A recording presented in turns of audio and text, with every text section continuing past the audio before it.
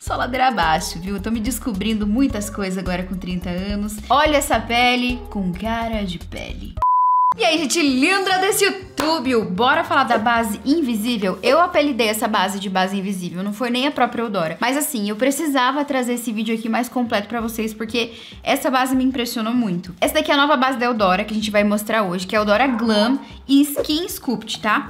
É, a Eudora lançou essa base com o intuito dela ser uma base mais tratamento, porque ela tem bioestimulador de colágeno, que o colágeno, né, que deixa a nossa pele lá mais pra cima. Ai, sabe aquela pele do bebê que você olha e fala, meu Deus, que brilho! Olha que pele firme. Então, é isso que a gente vai perdendo quando a gente completa 25 anos. Sim, gente, dos 25 para baixo, a nossa produção de colágeno vai caindo, né? Só ladeira abaixo, viu? Eu tô me descobrindo muitas coisas agora com 30 anos.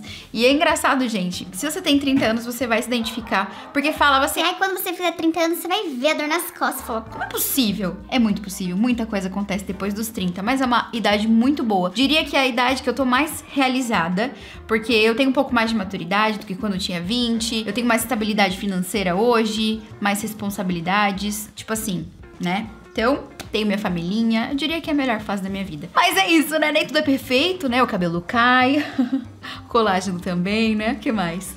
Várias coisas, né? É isso. Vamos lá. Vamos falar de uma coisa boa que é essa base, quero mostrar pra vocês. Eu vou começar aplicando já. Antes de aplicar, na verdade, eu vou hidratar meu rosto. Vou ser muito sincera com vocês, tá? A Eudora, ela me chamou pra fazer publicidade dessa base. Eu testei, obviamente, amei e fiz a publicidade dela lá no Instagram. Mas esse vídeo aqui que eu tô fazendo pra vocês não é contratado, tá? Eu quis fazer ele mesmo porque a base é muito boa e merecia um vídeo aqui pra vocês. Tô usando Hyper Real da MAC. Esse hidratante é surreal, ok? Nossa, ele é muito bom.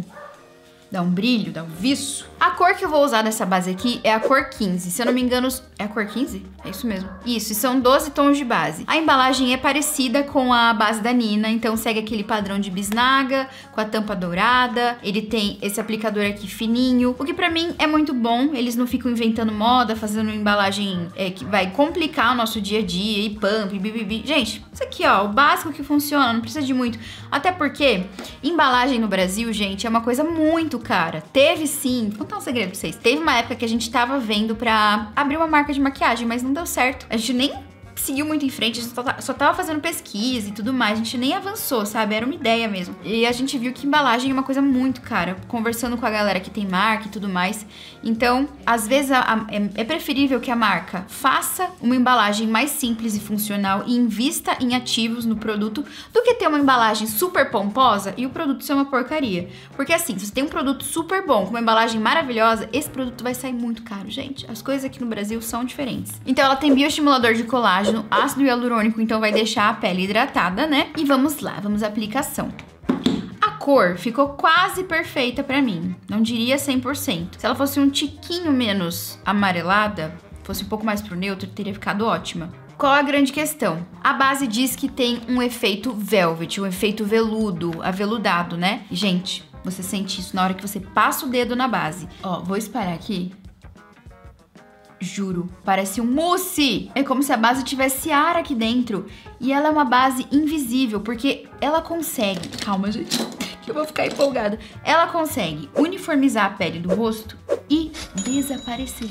É isso, ela desaparece. Eu não tô mentindo. Quando eu testei essa base, falei: Quê? Que bruxaria é essa? Olha isso aqui. A textura dela, ela é muito similar à textura da pele.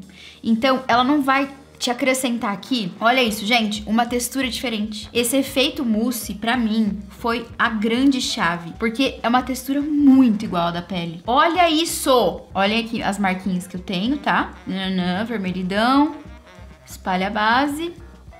E ó que eu ainda tô com um pincel Duo Fiber, que ele tende a deixar a base um pouco mais natural. Se eu tivesse passando com um pincelzinho mais duro, a cobertura ia ser maior. Agora eu vou passar um pouco mais dessa base Calma, gente. Vocês estão falando, ai, cai, mas não tá cobrindo tanto. Calma. Eu vou ensinar pra vocês um negócio, vocês vão gostar. Vou usar esse pincel aqui, tá? Ele é mais fofinho. Batidinhas. Você não precisa passar uma máscara no seu rosto pra ficar com uma pele bonita e uniformizada. Você vai retocar o que você quer com corretivo. Você não precisa passar um quilo de base. Tem uma base que não dá pra ver sua pele por baixo, que fica aquela coisa zero natural, entendeu? Você não precisa disso.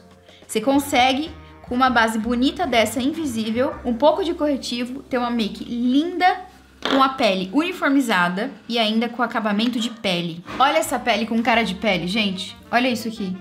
Temos olheiras? Temos, mas aí é que entra o corretivo em correções pontuais. A gente não precisa passar aquele quilão de make. Sério, sério, é muito bonita essa base.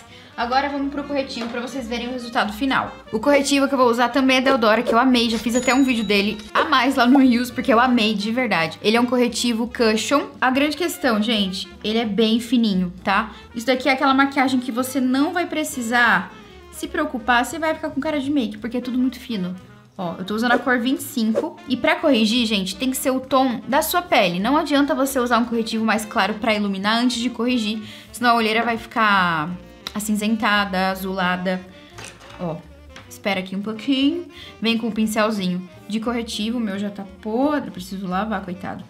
E eu gosto de aplicar duas camadas, tá? Porque a pessoa aqui, né, nasceu desse jeito, graças a Deus, com muita olheira. Deixa secar um pouquinho. Agora a gente vem aqui, ó, nas, pon nas pontas, em locais pontuais, que a gente quer corrigir mais. Se uma coisa ou outra. Inclusive, esse corretivo dá pra usar como base. Ai, ele é muito bom. Aqui, uma manchinha aqui de espinha. Vamos selar com pó. Vou usar esse aqui da Chiglan, gente, que eu tô viciada. Vamos ver se o da Boca Rosa vai substituir esse pó, porque eu tô ansiosa pra testar. Todos vídeos estão falando das coisas boca rosa, né? Porque eu estou muito ansiosa. Olha essa pele com cara de pele. Olha isso, gente. Você vê assim, ó. Eu dá para cobrir tudo, mas dá para manter uma naturalidade. Não precisa cobrir 100%, sabe? Enfim, para mim, essa é a base invisível, realmente. Isso aqui não foi nem a Dora que falou, é eu que tô falando mesmo, porque a textura dessa base, é, ela deixa a mesma textura de pele. Eu sei que eu tô repetitiva, eu sei, mas eu quero que frise aí na sua cabeça. Uma outra questão também é, para você que tem a pele mais madura, uma pele com mais textura, uma pele com mais linhas de expressão, essa base ela não vai marcar, justamente por ela ser ultra fina. Então ela não vai ficar acumulando, não vai ficar evidenciando. Odeio base que marca aqui a nossa linha do sorriso, sabe? Que você faz aqui e fica aquela linha marcada. Aí você tá com a cara assim e tem uma linha aqui. Não faz sentido. Essa base não marca nada. É o que aqui é bem forte em minhas linhas de fazer careta da academia. Hum. Ó, não marca. Não marca. Enfim, o mercado tá super aquecido de lançamento e eu sinto que assim, o Brasil tá arrebentando em produtos de muita qualidade. Foi a época de que maquiagem era só maquiagem e agora a gente tá tendo muito produto com ativo de cuidado com a pele, de skincare. E nessa aqui a Eudora arrasou. Então se você tá pensando aí, ó, tá em dúvida, tem o seu Gabrielinha de aprovação, eu gostei demais. E é isso, meu povo, esse é o vídeo. O que vocês acharam? Vocês gostaram? Vocês concordam comigo? Deixa a opinião aqui de vocês. Eu quero saber o que vocês acharam vendo aí, ou se você tem essa base, comenta aqui embaixo. Um beijo e a gente se vê no próximo. Tchau!